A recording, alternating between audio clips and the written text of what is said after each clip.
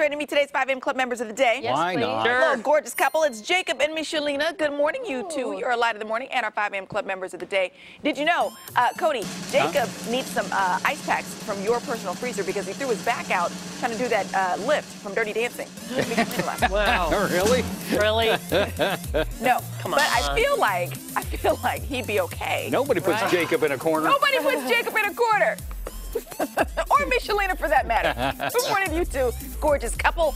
Uh, we're always looking for new members to join us in the club via Facebook or email. You send your pictures in, we make up fantastic All right, facts all about right, you. all right. And then you're part of the family that you can never get rid of. Kind of like that thing on Aliens that sticks to your face. There you go. Like that. That doesn't sound very It's like pleasant. warm and no. fuzzy. No, no.